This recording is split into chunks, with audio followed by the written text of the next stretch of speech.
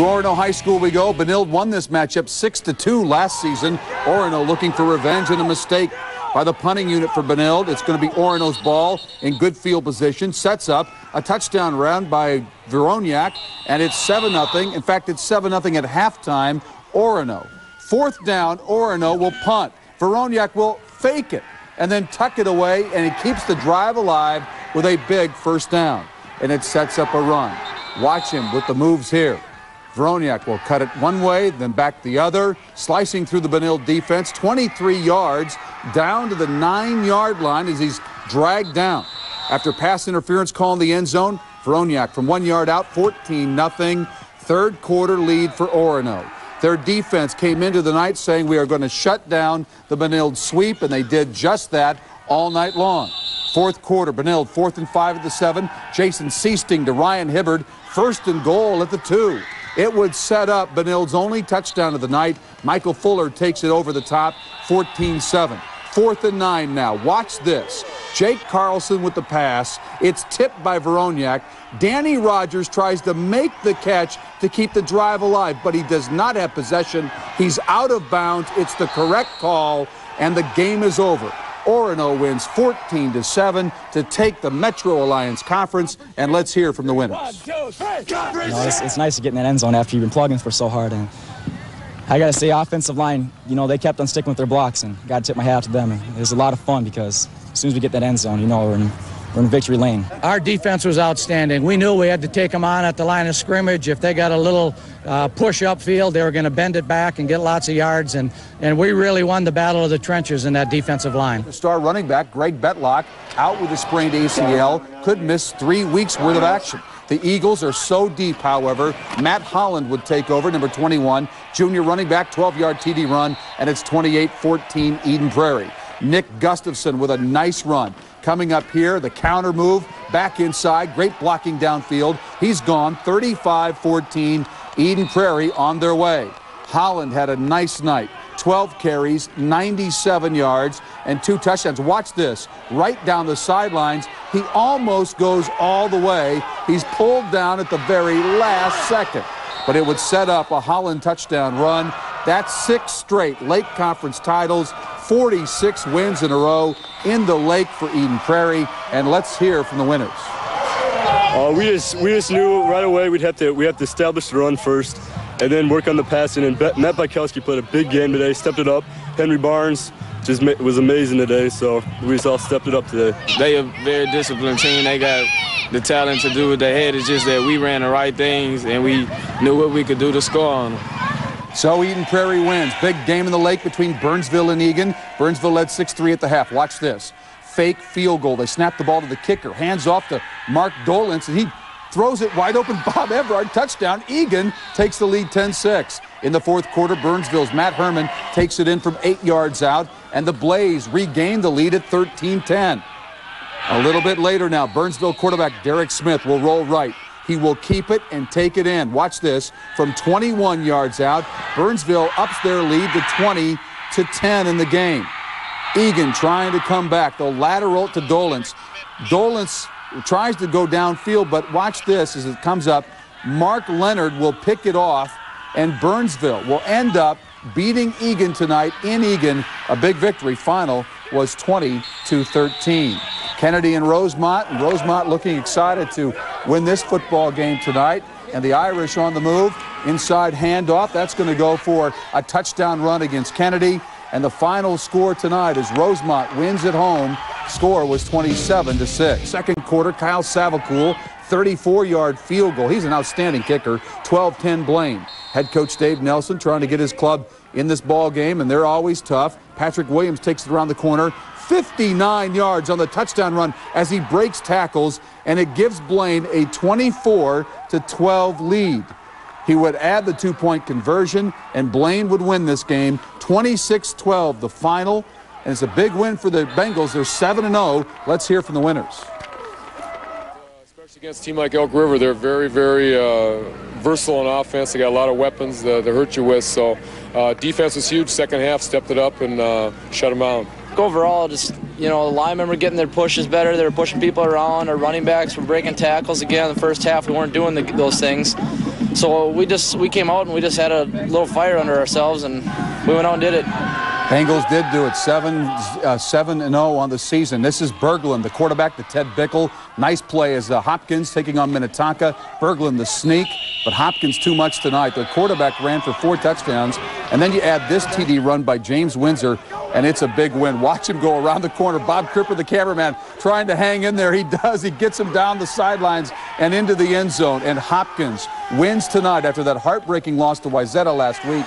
Final tonight, 42-21 getting ready to go. This could be the Raiders of the future right there. Here's Marino, the quarterback, drops back. Brandon Bowser in the end zone, wide open, 7-0. Following a safety, watch Kim Sarin. Picks up through the uh, defense of the Cougars, and he's gone 19 yards. The final 63-0 in favor of Cretin. Mustangs trailing 14-7. They have possession of the ball. Here comes the option. Luke Johnson's pitch gets away. Dan Weber can't get it. Wild scramble ensues. Several players have a shot at it, but it's recovered in Mounds View territory by Woodbury's Josh Matthews. From there, the Royals feed Mounds View a steady diet of hard running, and Dave Uguay is the guy inside the five with this nice run. It would set up a field goal. Woodbury wins this game as you see the field goal 17-10 the final so Mounds View loses for the first time in the conference Irondale's offense on the move quarterback Andrew Partonen will pitch it to Cooper Osby and the Knights are in business at home against Monticello. Nice pitch at the very last second. Later in the drive Partonen to Brian Dahl. 36 yard scoring strike. Irondale takes the lead 7 to nothing. But Monticello came to play tonight. Chris Reeder will run it from eight yards out to tie the game at 7-7, and the Magic would actually take the lead right before the half. Reeder would score again, but Irondale survives 28-26 at home tonight against Monticello. Cambridge playing at Spring Lake Park. Josh Nelson gets in for Spring Lake. They actually led this game 14-0. Actually, that's uh, uh, yeah, that's Nelson. And then Cambridge will stop the play here on the uh, on the defensive side. They come back in the second half to win it 23-20, so that's a big win for Cambridge on the road tonight. On one side, there's Edina, the Metro powerhouse, having a great season. Their musical selection tonight. Phantom of the Opera. On the other side, a much different school, Albany, a powerhouse in their own right. But compared to Edina, much smaller. Where's Albany? I'm curious. It's, by about there. You know where St. Cloud is? Yeah. It's about 15 miles south. Or northwest. North, northwest. Northwest. There. Their musical selection of choice, not Andrew Lloyd Webber. They're going with cowbells. They said we can't use them though, so just have. No cowbells in Edina? And it's a misconduct. We may use them. Oh.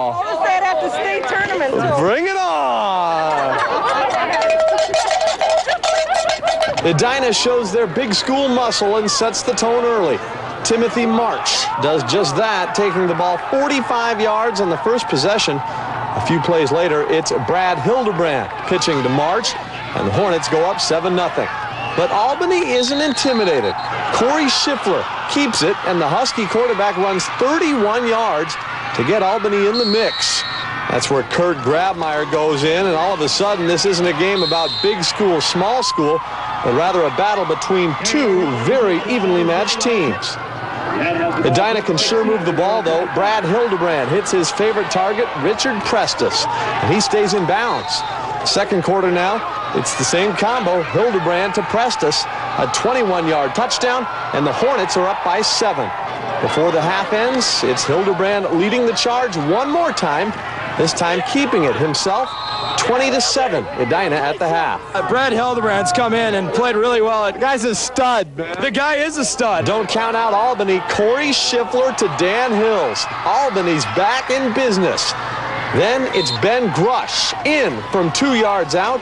20 to 14. Watch out, Edina. But I think Albany settled in, took some things away from us, and then as the game kind of went on, I suppose we got nervous. We made some mistakes, but uh, we hung in there. Our defense played tremendous. And in the end, that defense does hold the Huskies. Edina over Albany tonight. Final score 20 to 14. It's Albany's first loss. We just had everybody going to the ball, 11 guys, you know, to the ball. We're not a very big team, but, you know, when we get out there, we pursue well and we, we gang tackle really well, and that's one of our strengths. For the Prep Sports Extra. Eric Perkins, KARE 11 Sports. What a fun matchup. Nice job by both schools to schedule each other. That's a fun thing to see. And it's North on the move. Leon Barnes to the George Tebbs. 40-yard bomb, the two-point conversion, making it 8-zip in favor of the Polars. Later, Barnes under pressure. He'll dump it off. Jermaine Jennings will take it, and watch what happens. Nice nifty move there. Great block. Downfield, another good block. Another nice move, and he's gone. 50 yards for the score. North led at this point 14 nothing. He's still breaking tackles. Final score in this game 36 to 18. Minneapolis North with a nice win. Hey, under the dome tonight, under the big top, Breck and Hill Murray. Late first half, Breck leading 27-7. Their quarterback's a good one. Nick Vanderboom to Dominique Byrd. 25-yard play. It would set up a touchdown pass from Vanderboom to Mark Jagla, 13 yards, and Breck is up big over the Pioneers, 33-7. Why did Hill Murray struggle? How about eight interceptions on the night? Three returned for touchdowns. That's the All-State linebacker, Dominique Byrd, going 75 yards for the score. Breck returns three picks for touchdowns, and they win big tonight. The final score, 46 to 14. South and their defense just ganging up all over South. Nice play here to stuff them. Then the second quarter belongs to the Carlos Love. He'll bust loose on a 35-yard touchdown run. 7-0 record for Washburn. They get the Raiders next week for the Twin Cities title game.